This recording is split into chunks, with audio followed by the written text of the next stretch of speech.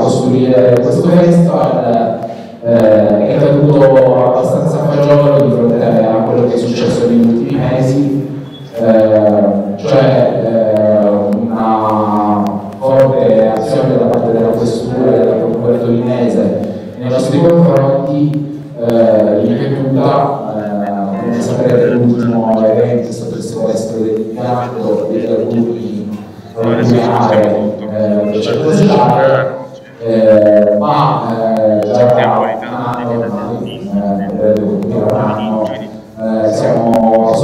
accusa con eh, l'assurda eh, accusa appunto di associazione agricole. Quindi questo festival da un lato l'abbiamo pensato come un momento di rilancio, di riflessione per il futuro, eh, dall'altro è anche un momento insomma, per eh, riconnettere i fili con la nostra comunità eh, di fronte a questi attacchi e eh, pensare insieme, progettare insieme appunto eh, gli orizzonti eh, di una trasformazione possibile. Eh, insomma, chiudo qua per quanto riguarda il festival, adesso eh, brevemente vado a introdurre il dibattito con i nostri ospiti. Ehm, abbiamo deciso di fare questo dibattito perché, eh, come dire, negli ultimi anni eh, abbiamo notato che eh, da un lato eh, due fenomeni contrastanti, cioè mentre da un lato, come dire, eh, abbiamo la sensazione che di fatto la frattura geografica che esiste tra il nord e il sud eh, del nostro paese sia stata approfondita dal punto di vista politico-economico, dall'altro lato eh, questa narrazione, questo discorso della questione meridionale, comunque lo vogliamo intendere, è un po' sparito dalla discussione ufficiale. Eh, questo ci sembra un dato particolarmente importante, ci sembra anche importante vedere sia sul piano diciamo, della politica istituzionale, sia sul piano dei movimenti, delle, dei conflitti sociali, come di fatto ci siano delle dinamiche che in qualche modo sono differenti tra eh, quello che succede eh, sotto Roma, eh, nelle isole, quello che, che succede sopra, eh, che comunque mantengono dei lati comuni, ma appunto il vario che ci sembra allargato. Vado a introdurre i nostri ospiti, abbiamo Carmine Conelli che eh, ha scritto eh, il libro eh, scusate. Sono un stanco. Vi devo lasciare la narrazione e e andava avanti che invece ha eh, che ha che ha contribuito eh,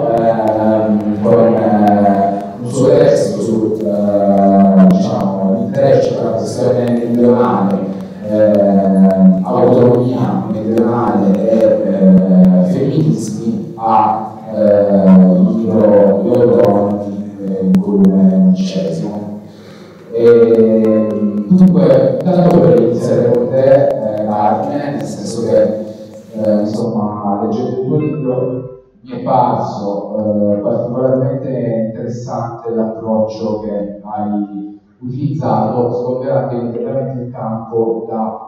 eh, alcuni approcci, bene o male, eh, sia storici sia più attuali, diciamo, alla questione meridionale. Quello è l'approccio neoborbonico, possiamo dire, cioè quello del sud eh, potenzialmente capace di uno sviluppo eh, eh, incredibile se fosse rimasto indipendente sotto i Borboni, diciamo. L'approccio, mi viene a dire meridionalista ufficiale, cioè di una lettura in cui eh, la questione meridionale viene vista stregata dalle dinamiche eh, generali del capitale, del vari rapporti stratificati eh, che si vanno a formare tra territori del capitalismo e l'altro approccio, eh, quello lì che non esiste nessuna questione meridionale, no? in qualche modo. Ehm, quindi quello che tu vai anche in qualche modo a mettere ehm, a critica la categoria presa così per com'è colonialismo, no? Quindi vorrei partire un po' da questo con te, se voglia, sia perché a critica questa categoria, sia se ci fai una diciamo, ricostruzione anche storica del perché per te è, è valida, però fino a un certo punto. Grazie Vincenzo, perdonami davvero se non mi hai aiutato a ricordare il titolo, ma mi viene troppo da ridere questo, questo libro a quanto pare o, o non un titolo felice da ricordare, ma, ma, praticamente è già stato denominato in vari modi, alcuni sono molto divertenti. Eh, il primo è stato opera copyright di una persona in sala che, che, non nominierò, ma l'ha chiamato il rovescio del mezzogiorno. un'altra persona me l'ha chiamato il rovescio delle nazioni, quindi proprio un titolo quasi diciamo terzo mondista degli anni 70. E invece più bello è un altro spazio occupato, ma l'hanno chiamato il risveglio della nazione, quindi un, uh, un endorsement quasi nazionalista al nuovo governo, vabbè, lasciamo, lasciamo perdere, quindi ho apprezzato molto il voto di nuovo allora, eh, scusate, ho organizzato subito per guardare la mia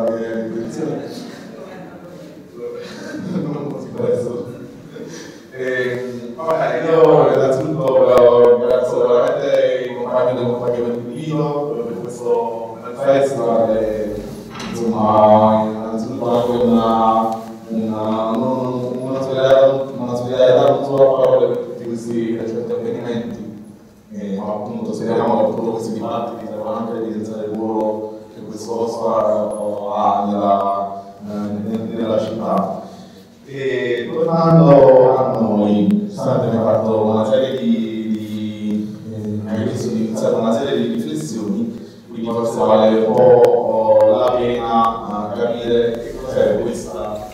questione meridionale che è un po' una, diciamo, un feticcio che eh, l'Italia come, come Stato-nazione e, gli italiani nel processo di costruzione della loro identità si portano così da un po', da un po di tempo. E diciamo che non c'è neanche troppo accordo tra chi ha studiato queste cose eh, su quando eh, comincerebbe eh, questa questione. Secondo una, una,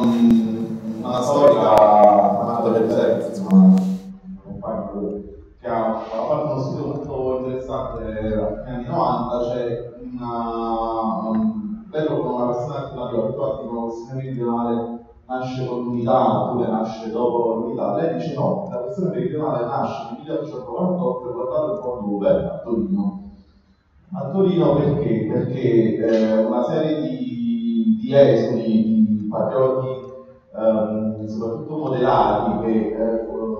che praticamente eh, nel gioco del risorgimento erano quelli che dicevano ok, dobbiamo cacciare il Borbone, ma va bene anche tenerci la, eh, la monarchia. Quando appunto dopo il del 1948 i Borboni reagirono con uh, esili, con carcerazioni e così via,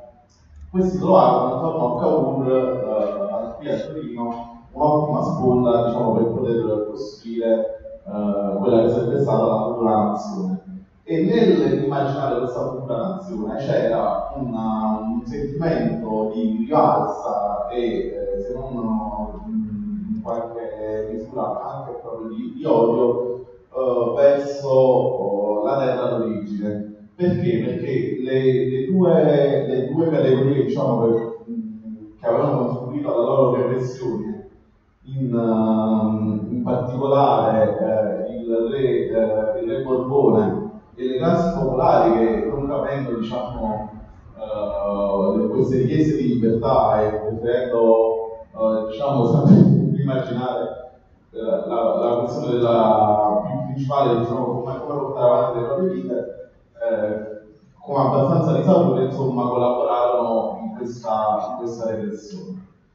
Ora, uh, la questione meridionale quindi nasce un po' come in questa maniera un po' classica di questo nord che uh, si, uh, diciamo, si arroga il diritto un po' di narrare cos'è il progresso, cos'è la modernità, cos'è la nazione e lo vuole insegnare a questo sud che diventa così automaticamente arretrato, incivile, barbaro e così via, fino a diventare addirittura africano, mentre appunto il nord guardava all'Europa. Il meridionalismo, quello classico, giusto per diciamo, porre uh, un po' le virgolette su quello che, che accennavi, nasce nella, nella mezz'ora da dare la guarda alla fine dell'Ottocento, quando il meridionalismo, quello classico, il solo infatti, cioè diciamo, diciamo, le virgolette politiche, quella che era la nasce nella Polonia radalare la nascita alla fine dell'Ottocento, quando oh, questi conservatori, che tra l'altro erano anche abbastanza eh, diciamo timoriti da quella che era la questo pericolo che le, appunto, le classi popolari del sud potessero farsi un po' eh, prendere da queste idee rivoluzionarie. Quindi impostarono proprio un discorso non tanto come il um, come dicevo, ovvero questa, uh, questa, questione che non tutta sul capitale, ma proprio su come il Sud dovesse essere messo a valore in qualche modo. E quindi a immaginarlo a immagine a somiglianza del Nord, perché il Nord era quello che dettava la modernità, quindi il Nord era cristiano, il Sud rimaneva uh, agricolo. E, e, qui diciamo questo è un discorso che con varie produzioni chiaramente arriverà al giorno oggi, ma anche con Garda poi approfondiremo questo discorso. Però uh, nella, nella variante, negli, negli anni recenti, diceva Vincenzo, giustamente questa questione meridionale sembra un po' uh, sparita. Io non sono proprio completamente d'accordo, nel senso che chiaramente alcuni dei suoi temi sono registrati, ma soprattutto sono poi registrati proprio la capacità di immaginare ehm, un, un, futuro diverso del sud che non sia appunto quello a cui è stato destinato un po' quella di un territorio che facesse da, da, da riserva di manodopera e, e, che avesse un ruolo diciamo, al servizio allo sviluppo del nord. Ehm, questa, questa, mancanza di immaginazione è praticamente crollata anche in ottica capitalistica quando un po' dopo la, diciamo, dopo la fine eh, delle contrapposizioni tra partiti comunisti e democristiani e così via e, eh, soprattutto alla fine la cassa del mezzogiorno aveva comunque fatto un po' uh, le radici di questo sviluppo uh, del, eh, del, sud uh, poi gli intellettuali meridionali si ritirano a questa cosa quella che poi viene definita la questione settentrionale quindi questa lega l'avanzamento della Lega che insomma una base insomma marxista e dobbiamo dire in questo posto che questa pratica um, diciamo a dirlo nominale la questione meridionale di, di chiamando l'emola settentrionale allo stesso tempo al sud che cosa succede? Eh, succede che ehm, i meridionali, buona parte diciamo anche po' della piccola borghesia e del, eh, delle, delle persone che hanno studiato, sono anche un po' sentiti defraudati da questa situazione hanno cominciato a immaginare la loro uh, piccola patria uno specchio, un meccanismo proprio uno specchio riflesso di quella dei leghisti. Voi ci dite che noi siamo, uh, siamo preziosi, che siamo arrivati, uh, che, che, che non, non se fare queste cose, che siamo qui criminali, allora mettiamo in luce tutte le volte in cui il napoletano deve voler portare alla stazione del si riceve la ricompensa, che dico io, io non l'avrei mai fatto, però sembra che funzioni come strategia a oppure portiamo in corsa quelli che sono i famosi primati delle tre Borbone questi famosi cinque chilometri di ideologia dalla legge a Napoli alla legge di Portici e che invece sarebbe questa grande di, di, di modalità. Ehm, il famoso, eh, il famoso, la famosa chitarra di ceramica che i piemontesi avrebbero trovato dentro la reggia di, eh, di Mezzetta, che invece era un gabinetto che non capivo che cos'era, e quindi anche su questo mi sembra che edizioni. E poi eh, anche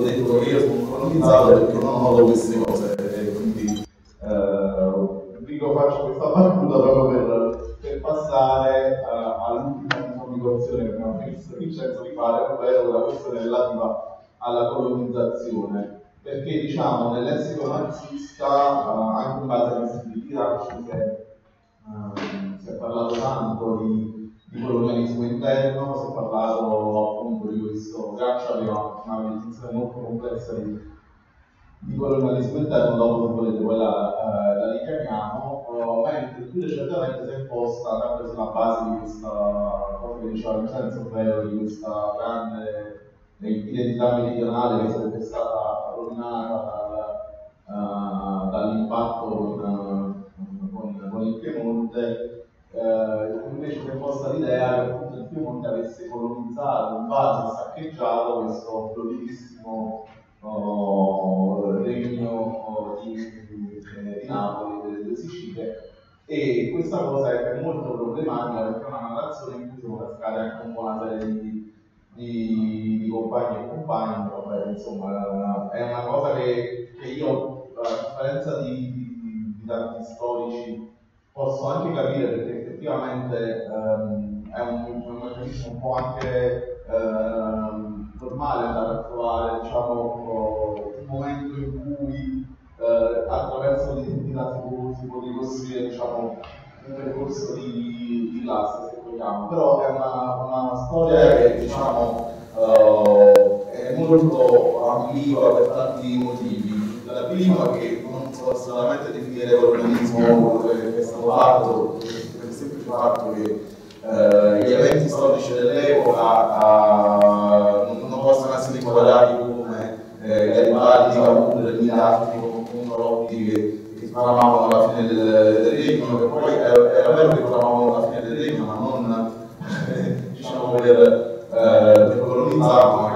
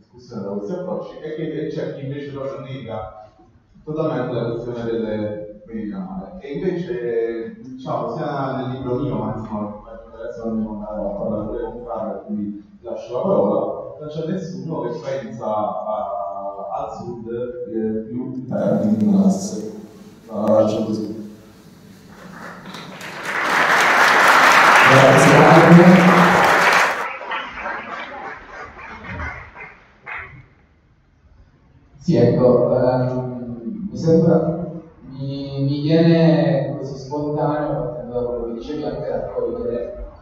questo aspetto, diciamo, della, della rincorsa della modernità, cioè del modello di sviluppo in qualche modo, che chiaramente è una delle poste in gioco eterne in questa questione meridionale, di come viene posta. Eh, tutti i piani di sviluppo il sud, cioè c'è sempre questo tipo di retorica qua. E eh, dall'altro lato, però, chiaramente diciamo, eh, è abbastanza evidente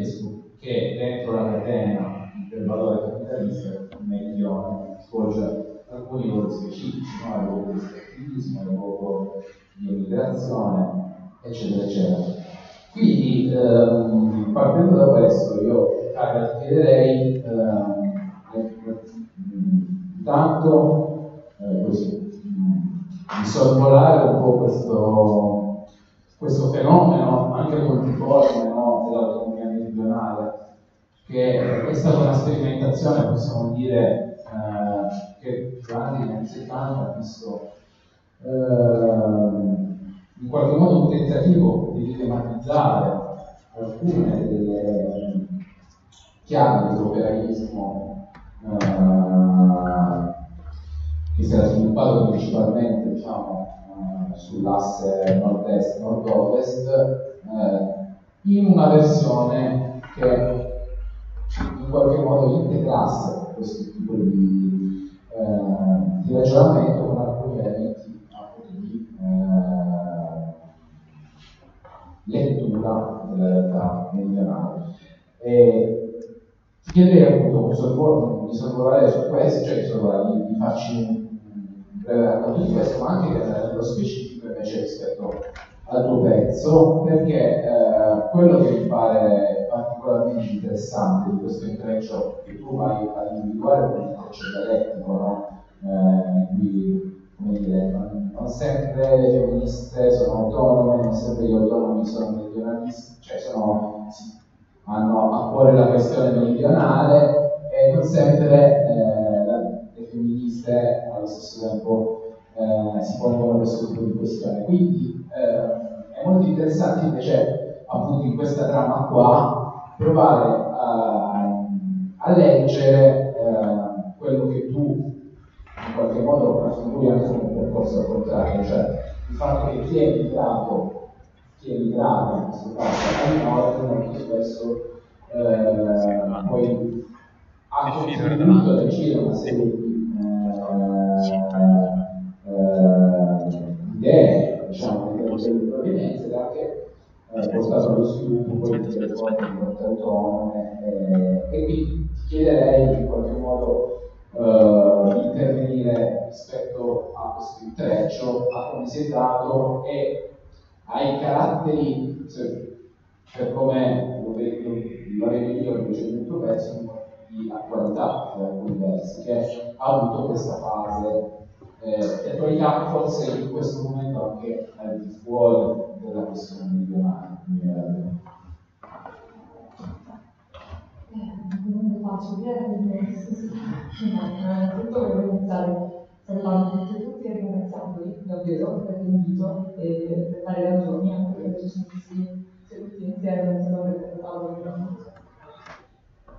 finora avevamo scelto ancora a discutere insieme sul programma era molto preso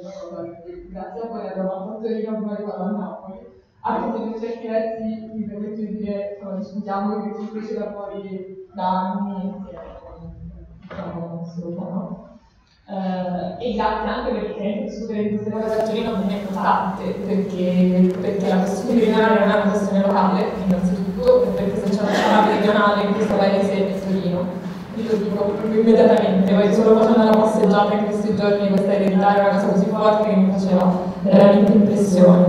Io per iniziare prendendo un po' larga, ma anche non troppo, dalla questione dello sviluppo, no? che un po' me la carne, quindi anche una domanda, ci volevo dire una cosa. Uh, uno dei modi in cui il Sud è stato rappresentato continua a essere rappresentato come sottosviluppato, come eh, non ancora moderno, come preda a un natalismo no? e le politiche, tra le varie altre cose, è perché il Sud è rappresentato come luogo della criminalità essere milionari vuol dire essere criminali. Stamattina anche con la brillante del Museo Lombroso, quindi capirete che sono molto suggestionata in questo momento da, da questa giornata. Però mi interessava dirlo, mi interessava dirlo qui, perché io credo che esista una genealogia molto meridionale, di un modo molto italiano di trattare tutto quello che succede ai margini dello Stato. A partire dal meridione, in questo paese è invalsa l'idea che tutto quello che non è all'interno delle istituzioni dello Stato è automaticamente pertinente a macrofenomeni come quello della criminalità organizzata. Cioè tutto quello che esiste al di fuori, diciamo no, il è tutto è mafia, è camorra, tutto è sempre economia prima che sono pugliese. E questo è un dolore, questa è una maniera umiliante di raccontare questi territori, soprattutto lo è stata in maniera strumentale una maniera umiliante di raccontare le forme di organizzazione autonoma e di auto-organizzazione che nel meridione si sono sempre sviluppate e si continuano a sviluppare per sopperire a una mancanza violenta dello Stato. E questo tipo di forme di organizzazione sono strutturalmente l'opposto di quello che noi. Perché criminalità organizzata è una forma parassitaria del territorio in cui lo abita ed è una forma parassitaria che impoverisce ulteriormente chi è già messo male. È una cosa che non dà fastidio, sta bene, è una cosa che dà fastidio a chi è messo male. L'autoorganizzazione con tutti i suoi limiti e i movimenti autonomi sono sempre partiti da provare a fare il contrario.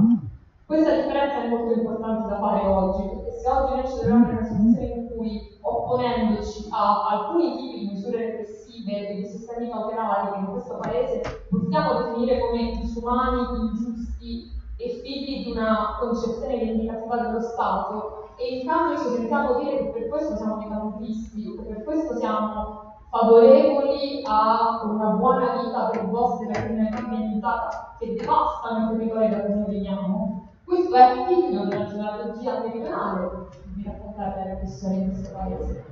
Uh, questo inutile specificato non, non nega in nessun modo l'esistenza dei problemi strutturali della criminalità non solo in meridione, perché lo stereotipo della mafia no? che la Balballino non è più quello. Uh, però a me sembra importante questo articolo da qui, uh, perché poi le cose vanno raccontate, vanno discusse secondo me negoziando territori in cui ci trova, no? luoghi in cui ci. Uh, e mi sembra importante partire da qui anche per arrivare alla tecnologia su cui abbiamo lavorato, ho avuto modo di, di contribuire, perché um, condizioni di mentalità perché soprattutto ce l'avevamo negli anni 70 questa è la, la grande domanda no? molte delle persone che hanno contribuito a questa trilogia eh, al contrario di me eh, sono persone che hanno avuto un ruolo anche testimoniale no? che hanno avuto la possibilità di questo lavoro di raccontare la propria storia e evidentemente per ragioni biografiche di età io appartengo a questa categoria a questa categoria di persone quindi per anche lavorare a questo tipo di ricostruzione a costanti problemi, eh, tecnici, etici, politici, tante cose insieme, no? Perché eh, a un certo punto io così dei limiti non stai raccontando una storia che è la tua cosa in parte, cioè è in un senso molto pubblico, in senso di genealogie, non in un senso di un'esperienza diretta, e anche di raccontare storie, che poi sono anche storie di grande dolore, di grande sofferenza, e parlando degli anni 70 sono spesso storie di carcere ad esempio. Eh, questo è un grande tema piuttosto ineludibile. Eh, di carcerazione di massa, che le persone che facevano parte dei movimenti negli anni 70 hanno subito, è stata eh, una delle cose che poi emergono come primo conduttore del lavoro che abbiamo fatto. E raccontare l'esperienza del carcere per qualcuno è stato anche un passaggio molto importante nella propria fotografia. Eh, io su questo a un certo punto come dire, eh, mi sono anche sentita nella difficoltà di limite, nel senso noi abbiamo lavorato a questa strategia eh, ormai tanto tempo fa, abbiamo lavorato in piena pandemia questo anche per elementi di contesto che cioè, nel momento in cui chiunque pensava tutt'altro c'era questo manipolo di squilibrati che stavano lì a scrivere di anni 70 in meridione, vabbè, eh, servirà, non servirà, non lo so. Quando abbiamo dato le stampe questi libri, nel frattempo sono passati anni, questo processo veramente sono andate le stampe in un mondo diverso da quello in cui erano stati scritti e oggi noi rischiamo in un mondo ancora diverso rispetto a quando sono usciti o perlomeno il paese diverso. E qua cito la parafrasi del, libro di titolo del grandi, è un nuovo risveglio della nazione, no? perché poi in questo paese la nazione si sveglia ciclicamente, quando si sveglia non è mai un buon segnale per noi. Ehm, quindi nella lavorazione di questi libri ho fatto anche un po' di un affrontare con con donne che avevano vissuto, principalmente donne di questi temi, che avevano vissuto negli anni 70 e le loro esperienze sono state anche sinceramente molto difficili da ascoltare a un certo punto, perché comunque c'è questo aspetto anche nella ricerca che non è facile, no? Eh, diciamo che alla fine io fondamentalmente ho scelto di provare a fare un'altra cosa proprio per occupare un posto che mi sembrava un po' più opportuno per me, cioè provare a ragionare su quali sono i nodi teorici, politici e anche proprio di relazione all'interno delle nostre comunità che probabilmente non abbiamo ancora del tutto sciolto e che probabilmente possono ancora dirci delle cose oggi. Non perché il discorso è quello banale, che vabbè, il potere, la storia si sempre, il potere si riorganizza sempre negli stessi modi, non è questo, però io credo anche che in questo specifico momento storico, diciamo così, in questa anche nuova configurazione politica no, che stiamo, stiamo vivendo, la memoria degli anni 70 è completamente sul piatto, cioè c'è una battaglia per la memoria sugli anni 70, una battaglia che la sinistra ha perso, l'ha persa perché ora la vita qualcun altro. E è fatto che noi in questo momento un governo non si può permettere di eh, insediarsi ringraziando i propri morti. È un governo che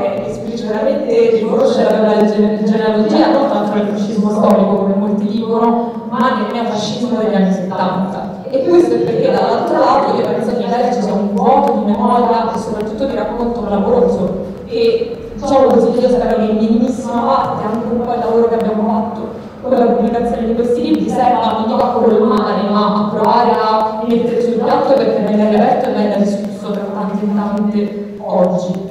eh, anche per togliere un tabù che noi tutti ci portiamo dietro, no? che evidentemente sta venendo scontato in questo momento in cui qualunque cosa si trasforma in un'accusa di terrorismo. Questa è una memoria lunga che viene dagli anni 70 e que- ci continua, ci continua a cadere addosso perché sono anni che non sappiamo più raccontare altri termini se non quelli che ci sono stati imposti. Noi sappiamo raccontare come anni di gioia, sappiamo raccontare come anni di una d'avanguardia, cioè non so come dire, l'Italia non è più un paese di avanguardia culturale da un sacco di tempo, in quel momento lo è stato, e il femminismo italiano in quegli anni è stato una straordinaria avanguardia, tuttora un sacco di compagne e anche compagni in giro per il mondo continuano a guardare. Questa è una cosa su cui noi invece abbiamo una cesura a volte, no? È anche proprio una corte di oscura che calata sopra tutto questo come se dovessimo solo raccontarli con colpa o con tristezza, con disperazione. In questo senso poi mi è interessato, certo mi è interessato, mi è anche stato fatta da questa patata bollente incredibile, no? Perché a un certo punto si contatta per fare una cosa sui movimenti femministi nell'autonomia nel meridione negli anni 70, eh, eh, da dove parti? Eh, io sono, cioè io ho detto, io ho provato a partire dai vuoti, no? dall'idea che comunque questi tre poli, autonomia, meridione e femminismo, sono tre poli di una triangolazione impossibile, in cui ognuna di queste due cose dialoga con l'altra più per mancanze che per affermatività, no? non so come dire, più per mancanze che per certezze. Eh, per vari motivi, prima di tutto perché l'autonomia nel meridione è stato un fenomeno molto più complesso e anche molto meno identitario, no? banalmente di quanto sia stato in altre città, dicevi di est ma anche a Roma per esempio. Eh, c'è stato qualcosa di, strutturato più identitario magari a Napoli, però questo apre anche un altro grande problema, come Napoli, eh, questo diciamo è proprio un è napoletano, invece della provincia, Napoli viene spesso data come mitolina no? del sud, cioè si conosce Napoli, conosce come stesse per tutto, quando poi le differenze sono abissali e per esempio i movimenti femministi in Italia, nel Sud Italia, negli anni 70 sono stati tanto movimenti di provincia. Questa è una cosa che colpito tantissimo rispetto a come noi ragioniamo lotte come quella salario del lavoro domestico arrivava in luoghi dove normalmente altre forme di organizzazione politica vera e propria più difficilmente arrivavano perché toccava la vita delle persone, il problema del fatto del, del femminismo fondamentalmente. Quindi anche lì capire qual è il confine tra autonomia e non autonomia in non era facile, questo è stato uno dei primi vuoti che mi ricordo. Uh, capire, e, su questo anche molto spesso l'autonomia ha avuto delle mancanze nella capacità di leggere alcune volte, no? Meridiani che erano un po', un po' da alcuni schemi e lì di nuovo c'è il problema politiche soffrono dello stesso sviluppismo lineare quando guardiamo al sud e al sud, no? cosa è politico, cosa non è politico, comunque è un modo lineare di essere più avanzati politicamente rispetto a un altro. Ehm, come dall'altro lato anche all'interno del femminismo che, che, che avveniva nel sud Italia non c'era una piena concezione a volte della differenza mediana, perché non è detto che le compagne che facevano militanza a Napoli o in altre volte del sud si ponessero il problema della differenza con le compagne del nord, che è una differenza che invece io penso che sia ancora superata oggi, cioè non, non una differenza essenziale, non una differenza identitaria, non una differenza in termini astratti, però noi abbiamo tanto questo femminismo terrone, però non abbiamo, non abbiamo ancora capito in che cosa è diverso e che cosa porta. Insomma, magari non qualche caso di ci spiegherà delle cose. Non ho fatto per rispondere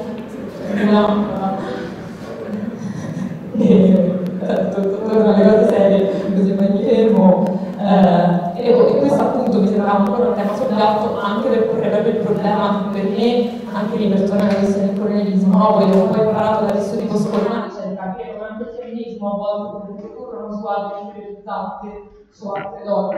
lotte. Non dico che c'è, però magari in Italia ancora questo problema non ce lo siamo posto fino in fondo perché c'è un'idea anche lì no? molto, molto specifica di come il Sud sia il luogo patriarcale, sia il luogo di non emancipazione, infatti è anche vero, però poi non è che insomma negli altri luoghi il patriarcato invece stiamo tremando, cioè sì sta tremando, però non, eh, sta, sta comunque più buona salute di quanto dovrebbe essere, mettiamola così. E l'ultima cosa eh, che fa anche piacere condividere qui eh, è che l'altra triangolazione purtroppo anche le comunità dell'autonomia sono state spesso comunità che hanno avuto difficoltà a interagire con il femminismo, il femminismo è stata una frattura, eh, è stata una frattura profonda e è stata anche una, è una storia anche di grande violenza, no? è una storia anche di grandi violenze che tante compagne hanno subito all'interno proprie comunità e anche una doppia violenza, perché comunque essere compagni significava eh, subire la violenza all'interno delle proprie famiglie, poi subire la violenza dello Stato, della polizia e poi molto spesso purtroppo subire anche in certi spazi che, che queste persone hanno costruito come, come propri. Questo secondo me è importante non perché dobbiamo eh, eh, rivelare no, le del passato, ma ci deve servire a interrogarci le nostre, ci deve servire anche a capire che ci sono delle ferite aperte, no? che forse vanno eh, cioè non si ricuciamo, però stanno lì, impariamoci qualcosa. A me ha colpito tanto, magari con questo, eh, e nel processo che ho fatto all'inizio di, parlare, di entrare in contatto con tante compagne, io dico sempre, io devo ringraziare le persone che hanno raccontato la loro storia potessi scrivere, ma io devo anche ringraziare tante compagne che non si sono sentite di raccontare la loro storia, perché il silenzio che mi hanno trasmesso a distanza di 40 anni era un silenzio dovuto a traumi ancora, ancora sul petto, a me ha fatto tanto. E, e, questo mi sembra no? anche l'atto di ringraziare che poi la propria memoria non è riuscita, riuscito, riuscita a trasmetterla, è una cosa che secondo me fa parte del processo di gratitudine che dobbiamo continuare a mantenere.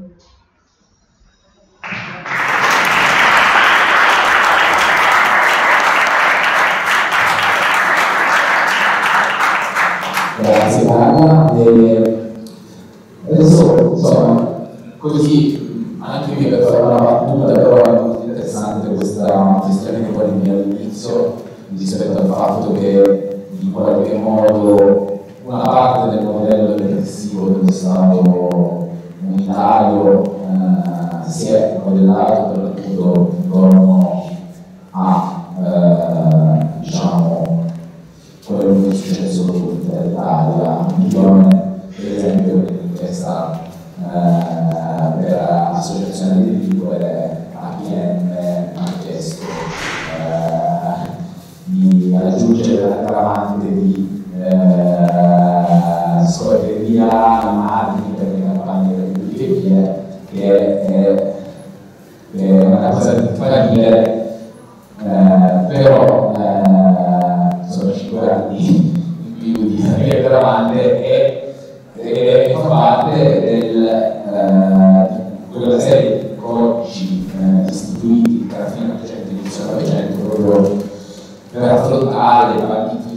il brigantaggio, eh, quindi in qualche modo cioè, dice anche lunga sul vissuto, ma anche l'associazione di vita stessa, no? l'associazione di delinquenti infatti era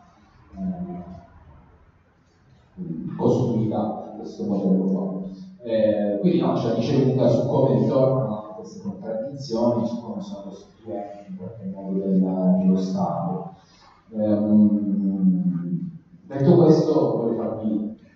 una domanda a testa e una domanda a due, così poi avremo il dibattito. Um, con te Carmine vorrei andare su uh, diciamo, una questione che, um, che mi pare interessante che uh, traspare dal libro, anche qui vedendo un po', un po', un po Gramsci, ma anche una critica no, al, diciamo, operai del nord e del sud dell'Europa. No? Ehm, e rispetto a questo vorrei porti la questione dell'oggi, no? nel senso che per esempio il racconto viene fatto uh, del sud uh, rurale, eccetera, eccetera, no? fatto ma possiamo dire che, che, abbiamo assistito in questa seconda metà di secolo alla fine della civiltà moderna, no? E, e, quindi un po' di cosa è fatta questa postmodernità dell'oggi, che vale per il sud ma vale in generale per tutti quegli spazi non metropolitani, diciamo così. Eh, è, è, una questione perché poi il racconto che viene fatto sia del sud sia della provincia per esempio è che sono luoghi abbandonati, però in realtà uno va a vedere qua c'hai eh, il, la mega distesa dei pannelli solari, qua c'hai la raffineria, qua c'hai il magazzino della logistica, eccetera, eccetera. E invece a te Carlo vorrei chiedere, rispetto a questa questione dell'autonomia, no? in qualche modo la, la, la specifica della, dell'autonomia meridionale, e se vogliamo anche in questa serie di autonomie senza dare la minuscola, no? dare la minuscola, quindi diciamo, eh, l'emergere eh, di eh, un movimento femminista, l'emergere di una questione meridionale. No, ehm, oggi mi sembra che comunque diciamo, a livello sociale questo elemento eh, di un'autonomia eh, eh, sia difficile da rintracciare nella narrazione che fanno i compagni e le compagne anche rispetto eh, al sud, ma non solo. Ma in realtà a livello sociale pare che ci siano dei fenomeni che ci parlano eh, invece di, altro. Ecco. E quindi ti voglio chiedere uh, un po' come, come, come, vedi questo aspetto e appunto in questo senso anche dove sta l'attualità, quindi congiungendoci a quello che dicevamo. La domanda che farei a tutti e due è un po' eh, invece, mettiamola così, eh, un po' provocatoria, però secondo me è importante, eh, rispetto a eh, una lettura che eh, si fa spesso eh, in qualche modo di una, una delle, delle forme di alleanza di passo eh, in cui eh, il rischio è quello di spesso di dire, invece di provare a trovare delle forme reali, delle omogeneità reali tra le funzioni che ci spingono a contestare il capitalismo, eh, di trovare forme, delle opportunità, no? in qualche modo, per stare insieme, perché siamo tutti e tutte capitaliste. Quindi su questo secondo me avete entrambi un po' sia dalla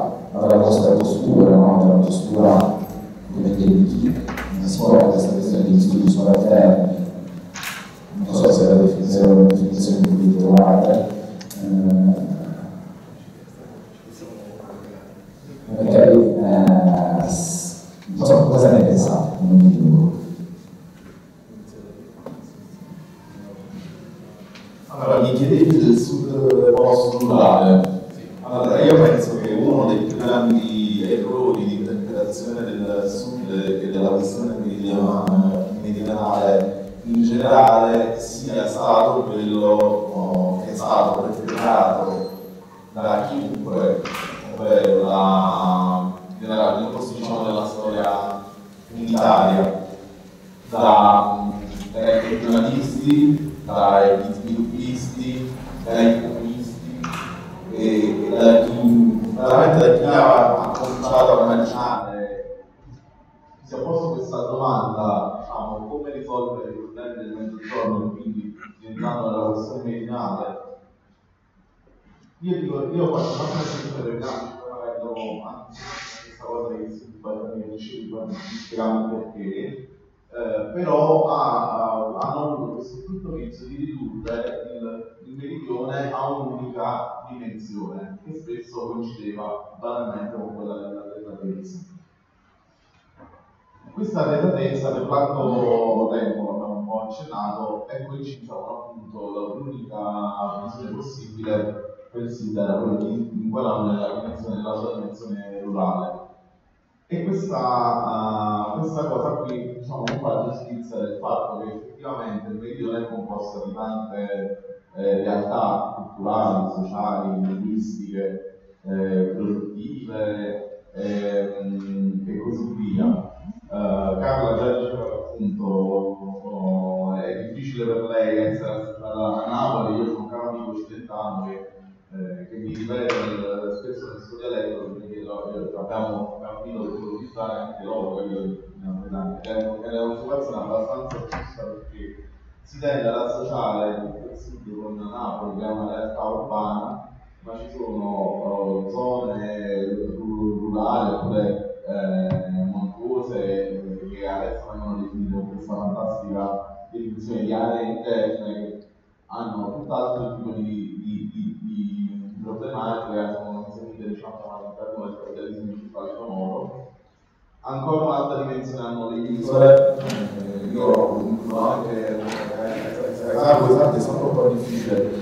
eh, parlare perché la questione sarà effettivamente una, specifica, una specificità che oltrepassa quella del milione per tante ragioni, anche da un punto di vista eh, identitario, però oh, anche la, i ruoli delle isole, se si pensa che adesso Sicilia e nel mezzogiorno vengono sempre a firmare anche nei dati statistici, eccetera, ma diciamo che eh, alla fine poi eh, la Sicilia è stata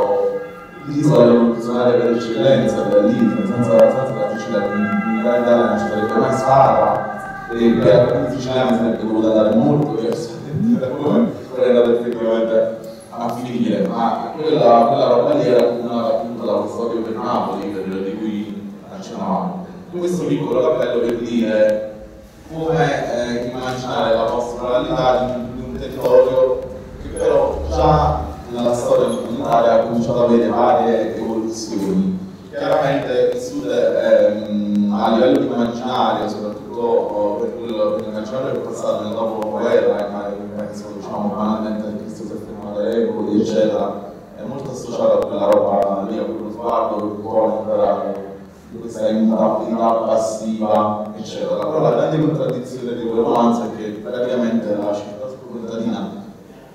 è cominciata a sparire già due anni dopo la sua pubblicazione, mentre lei, lei era tutto un altro libro e,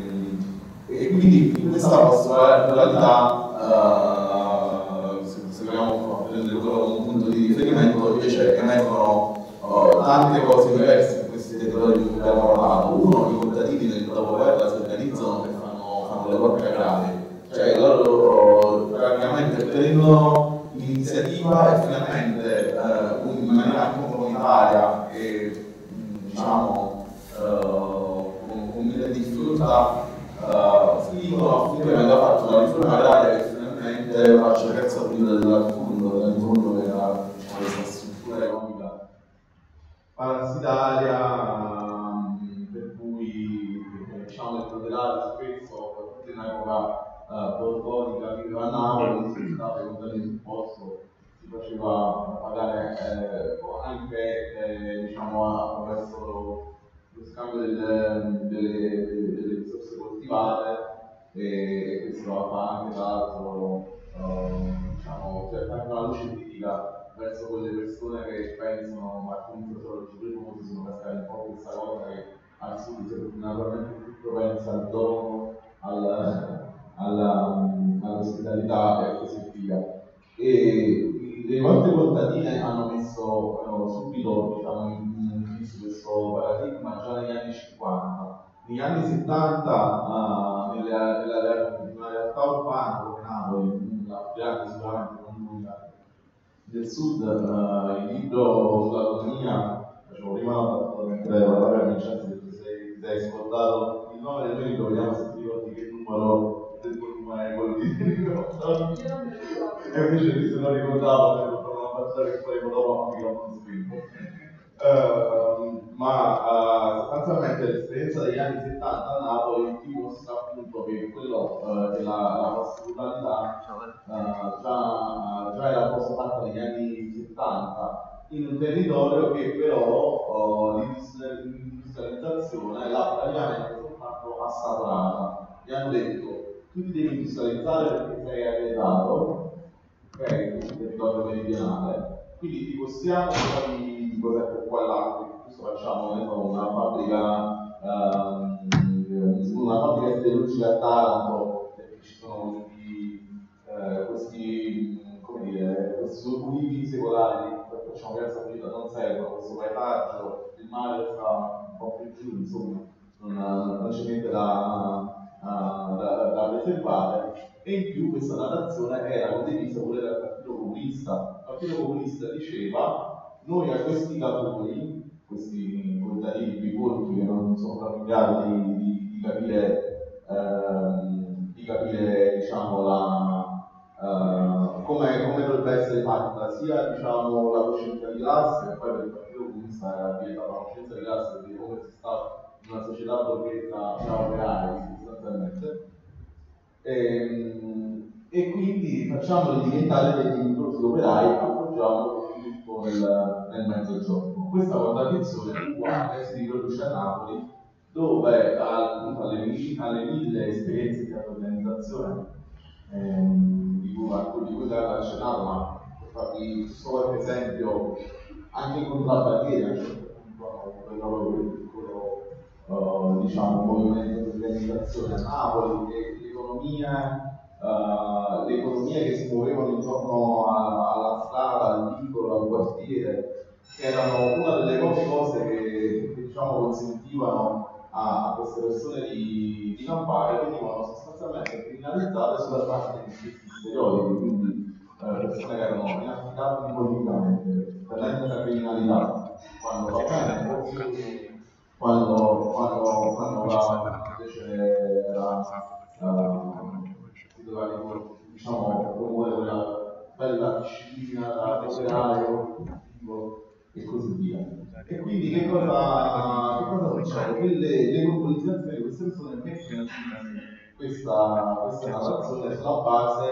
eh, di una, una, una, cosa che per esempio avete tanto della ricostruzione che hanno fatto dopo, se può essere anche annullato. In questo libro, eh, in questa serie di tre libri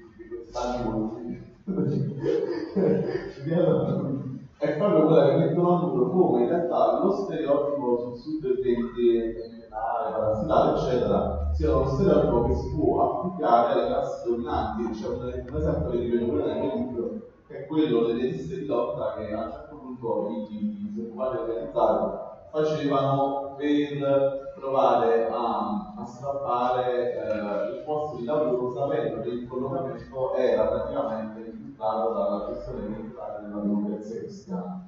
Quindi diciamo che eh, Uh, passando dagli anni 50 e 70 arrivando a oggi, potrebbe rispondere alla tua seconda complicatissima domanda, oggi chi dovrebbe ehm, diciamo, riprovare a immaginare qualcosa di diverso da, da sud sicuramente dovrebbe provarlo uh, a fare introducendo una variabile di classe. Variabile di classe che eh, oltre a quelle di chiaramente quelle di genere e razza, quella, quella frattura geografica, um, diciamo che tu giustamente dicevi una delle prime cose nella spesso viene dimenticato, ci dovrebbe far immaginare quindi che dal lato dei strumentali eh, non ci sono neanche uno neanche soltanto meridionali perché la pluralità di oggi, diciamo definirla così, vuol dire campagne, vuol dire caporalato, vuol dire braccianti che non, che non sono no, diciamo, di origine meridionale ma che vengono uh, diciamo, sfruttati nelle stesse condizioni mentre i neoborbonici l'unica cosa che sanno dire è dire noi dobbiamo portare i prodotti del sito di quelli di quelli di quelli di quel settore agroalimentare che si di queste, di queste persone e, ma io ripenso anche a un'altra, proprio per fare un po' prezza pulita di questa contraddizione di cui parlava te, Carla, cioè che noi dovremmo provare un po' a eliminare queste, queste dicotomie che, che, formano il, i nostri discorsi. Per esempio, a Napoli c'è un unico discorso che viene ancora in questo momento, che non è dire quando, e, e questo protegge anche per i compagni, non, non lo dico diciamo, no, che vuol dire quanto, uh, diciamo, uh, quanto uh, come dire, guerra, guerra di classe in qualche modo ci sta, vuol dire ma quanto si è legali o quanto si agisce nell'illegalità. E allora io invece penso che, come diceva pure giustamente Carla, dove l'illegalità, cioè la versione delle organizzazioni criminali è una cosa che influisce soprattutto sulla vita delle, delle classi popolari e così via, noi dovremmo cominciare un po' a, a fare calzatore di queste distinzioni e dovremmo immaginarci anche di stare a fianco magari a quelli che eh, stanno legali ma ehm, diciamo nelle posizioni più subordinate. Mettere insieme tutti questi soggetti è molto difficile. Eh, stiamo parlando di braccianti delle campagne, persone che stanno in città e stanno o nell'economia illegale oppure eh, in quella diciamo in quella che chiama nero e queste fanno parte anche molte donne che fanno l'economia di cura e così via. E, nelle aree interne eh, cosiddette ci sono ancora tutti dei problemi. Immaginarsi tutte queste cose eh, vuol dire riportare una un'identità che noi abbiamo praticamente perso perché, perché stiamo sempre a rincorrere un mito omogeneo che sia o quello dello sviluppo dal punto di vista capitalistico oppure quello del soggetto eh, rivoluzionario di turno. Io sfruttando questo dono della natura del, che, che, ci ha fatto il fatto di essere napoletani, no? uh, che, che ultimamente va molto di moda, uh, io dico sempre se noi strecciamo queste dimensioni di classe, di razza, di genere, di struttura geografica, ma ne teniamo soltanto una sola in considerazione, quindi consideriamo soltanto l'essere meridionale, o l'essere donne, o l'essere eh, nere, eh, o l'essere eh, o l'essere sfruttate, e io lo dico conosciamo, sarà futuro da vabbè,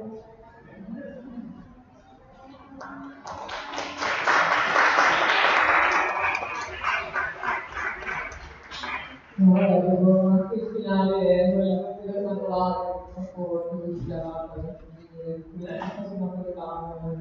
scuso per... Eh, Enrico Gemoni,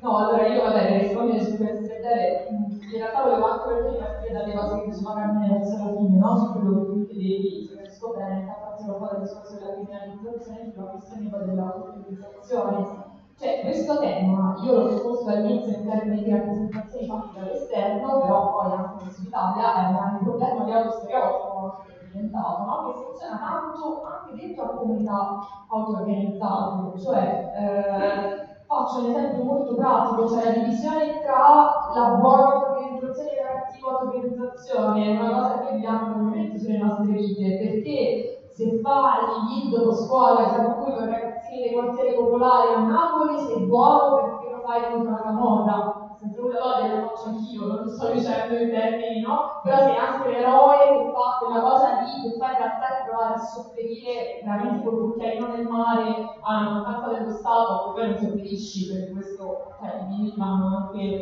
detti, no? Cioè, eh, quello se poi quegli stessi ragazzini di quegli stessi quartieri popolari vengono uccisi da un poliziotto mentre fanno una rapina con una pistola giocattolo in mano e tu difendi, improvvisamente diventi quello cattivo, difende la comunità organizzata. Io ci tenevo a dire questa cosa perché penso che faccia ultima piacere anche a Carmine, piacere no, però proprio in questi giorni a Napoli andremo eh,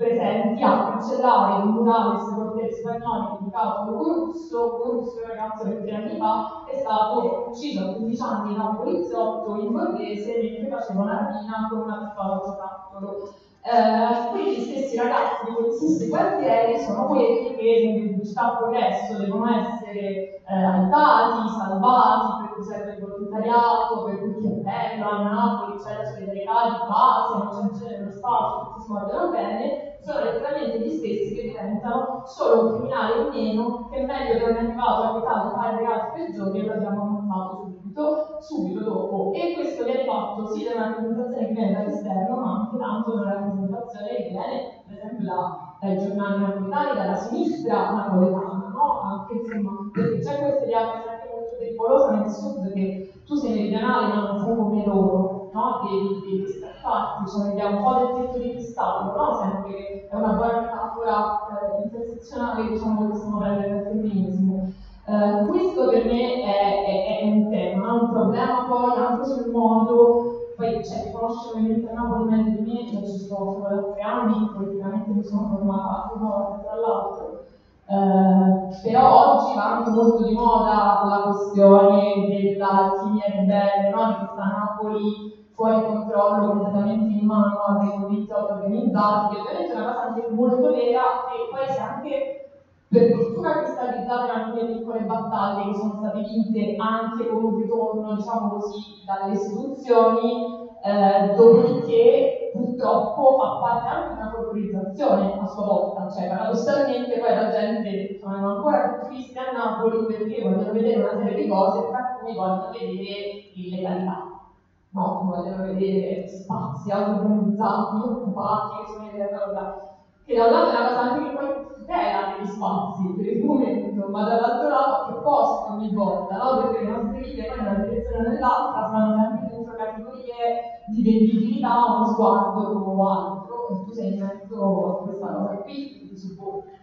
Quindi questa è una domanda che insomma non rispondo ma la lascio più che altro aperta, diciamo così. Eh, aggiungo una piccola cosa al volo che mi porta poi alla conclusione sulla domanda finale come mio fatto. Come dicevo, io mi sono normale per una città del nord, ho fatto politica per dieci anni, eh, anche quando pensiamo all'autoorganizzazione, anche quando pensiamo a questa differenza meridiana, secondo me dobbiamo ancora tanto pensare a quanto i movimenti nazionali in Italia, nel nord, tu cresci al sud e pensi che le cose succedono sempre da un'altra parte, no? Sempre. Poi arrivi al nord, vai ai collettivi, tre quarti delle persone sono meridionali e questo è così, eh, cioè, l'avete imparato con Nanni Balestrini, no? seguendo Alfonso Nadella che ha scritto a sua volta un contributo nella progetti autonomi eh, sulla sua storia, eh, no? che mi a Torino, appunto, questa storia qui, questa è ancora una cosa molto presente, e il femminismo per esempio è una storia enorme, eh, poco tematizzata, però poi anche dove finisce il meridione, no? Una domanda che io faccio sempre. Eh, se guardiamo i movimenti politici è una grandissima domanda, guardiamo l'università, guardiamo al mondo del lavoro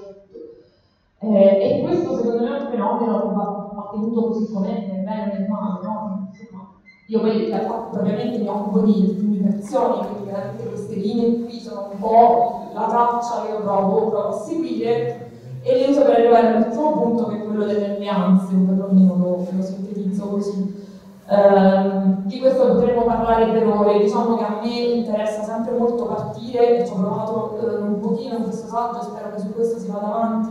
anche dal ragionare su che cos'è davvero l'intersezionalità, che penso sia una parola molto abusata oggi, ma io credo che l'intersezionalità funzioni quando è rinegoziata nei territori a partire dalle lotte reali eh, questo che vuol dire tutti noi, e penso di parlare anche con, con Carmine, cioè sono di Carmine in parte, ah, certo, mi pare il minimo, guarda, non abbiamo nemmeno questa conversazione di meglio. Eh, dicevo, eh, tutti noi ci siamo formati, cioè, noi penso siamo davvero tanto formati come come compagni per pensare di questo, quello che siamo, insomma, molto della fascinazione degli studi postcoloniali, ma e salti, che stanno interessati, come dicevi tu, perché secondo me rispondevano a delle, a delle perplessità con cui dicevamo crescendo dal sud. Cioè, io ricordo che ho letto questa cosa del non ancora della storia, cioè che schiavizzati non sono mai nelle rivoluzioni, sono sempre una ancora. Io come pensavo, ecco, qualcuno ha scritto quello che ho detto da tutta la vita, o l'ho capito. E sentati tutti per tutti noi come categorie di analisi. Dall'altro lato, eh, dico questo, il Gramsci parla di pluralismo interno ed è importante fare queste categorie, dopodiché poi il pluralismo è anche un'altra cosa per la metafora, no? La nazione e anche i collegamenti coloniali in altri modi. Stessa cosa vale per la razza, di nuovo, perché parliamo di razza quando parliamo del mezzogiorno, basta andare solo il grosso ed è evidente. È anche una cosa che si definisce in modi diversi e il criterio della razza si definisce in modi diversi. Io credo che una cosa che è molto importante per le alleanze avvenire è imparare a mettere la categoria del mezzogiorno al di fuori delle professioni e privilegi. Perché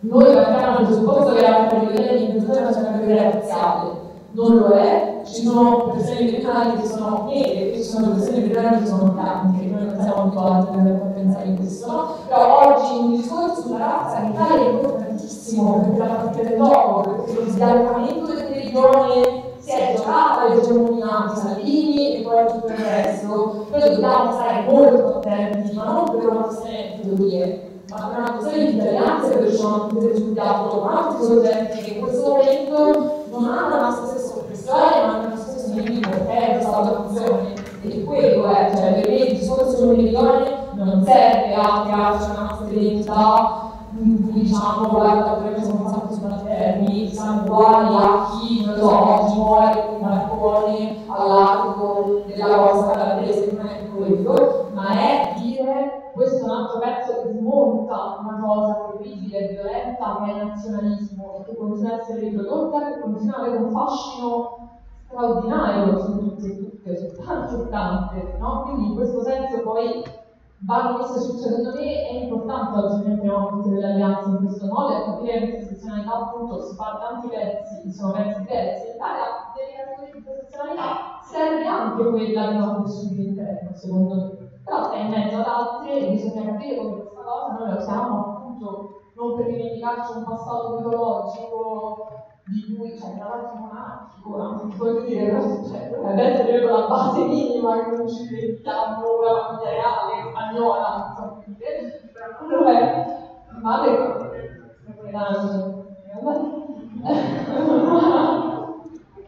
Ma come guardiamo a, cioè, alle alleanze che stiamo vedendo sul piatto, quindi va una condivisione di senso di potere che non ci sta più bene.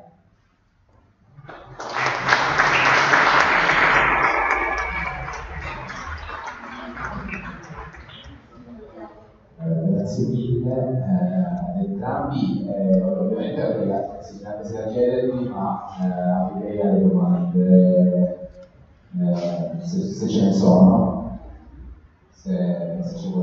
qualcuno che ha delle questioni.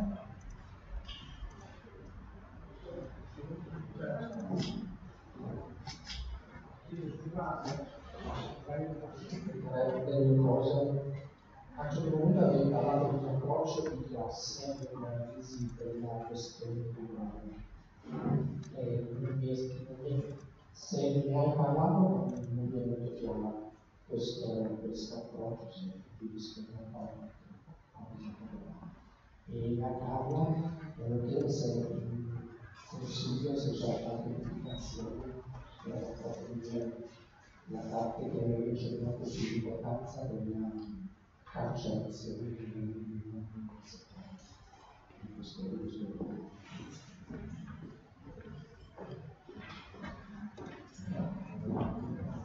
In realtà io non sono un esperto del tema, penso che già appunto nella teologia degli autonomi di cui abbiamo parlato si parla molto di carcere relativo al solitario degli anni. Poi in generale i degli autonomi hanno molto questo ambito, sono, sono fatti appunto fatti eh, non so se risponde esattamente, però una cosa che abbiamo solamente fare, che secondo me è anche importantissima da leggere, sono i numeri di metropoli per la rivista dell'autonomia che sono usciti tutto 6-7 mesi, una cosa del genere, tra l'altro, alla fine degli anni 70 e all'inizio degli anni 80. Eh, quasi tutte le persone che scrivevano erano già in carcere, stavano per in carcere, lo scrivevano o sono finiti in carcere per uscire dal primo numero e vennero accusati per, per un fumetto che raccontava i leggeri che l'hanno venuto vede per arrestati, questa è sempre una cosa. Noi me piace sempre molto perché in realtà è una vista anche molto differente, non so come dire, cioè a me fa sempre impressione leggere, avere tutti non solo gli scritti ma anche ci sono i collage, le immagini, le cose, pensare che comunque questa giornata così piena con la speranza, quindi penso non so quanto di fiducia nel presente, in realtà c'era tutto questo account, cioè ovviamente scrivevano anche della loro esperienza interna. Non so se ho risposto, comunque sono dei volumi, cioè ci sono stati editi in due volumi, quindi trovano anche le, numeri di questa rivista e tra l'altro c'è a cosa di che c'era prima una incredibile inchiesta di Paoli, uno sono disoccupati organizzati a Napoli, che per me è stata uno dei punti di partenza della maggior parte del mio lavoro.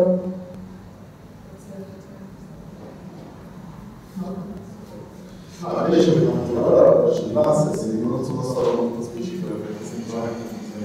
mi sono costruito in maniera così totale. E, diciamo che storicamente è un po' nuovo la questione di base sul, uh, sul piatto della, della questione meridionale, nel senso che lui in maniera un po' uh, famosa sostanzialmente immaginava la società italiana um, con questa metafora che d'accordo con la